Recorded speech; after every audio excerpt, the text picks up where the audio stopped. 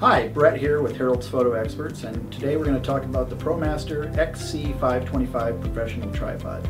This tripod packs a lot into a little package.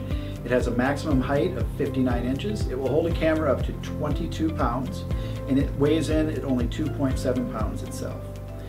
Uh, this tripod is available in red or black and comes in at just 169 which is an incredible price for a tripod that's got as many features as this does.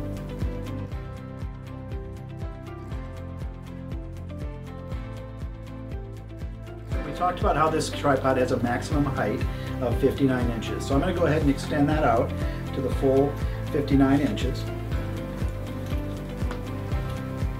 So what we have to do to achieve that is to extend the center post up to there. And then we can go ahead and put a camera on there with the quick release plate so that that can be easily removed if you want to do some shots without the tripod. Now this has a mini ball head so you can adjust it to any position you want. And you can make slight adjustments in height right from there. This also has a level, so if you want to make sure that that camera gets nice and level for any of your critical work, it has that, and it also has a level down here, so you can get that level from the start too.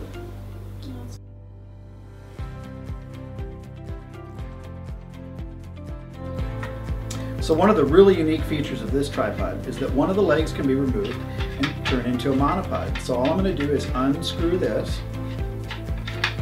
and then I'm going to take my ball head and unscrew that. And then we'll go ahead and set this down. I'm going to screw that ball head onto there. Then we can take our camera and put that back on there. Lock that down nice and tight. And then you've got a nice stable platform, but you're able to move around, which is great for sporting events, in the field, things like that with kids. It's just going to give you that little bit of extra stability versus hand holding it up there.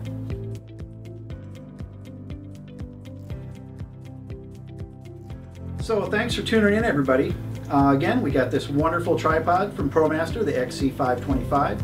Uh, comes in at a great price at $169.99. You'll be hard pressed to find a tripod with as many features at that price. Happy shooting everyone!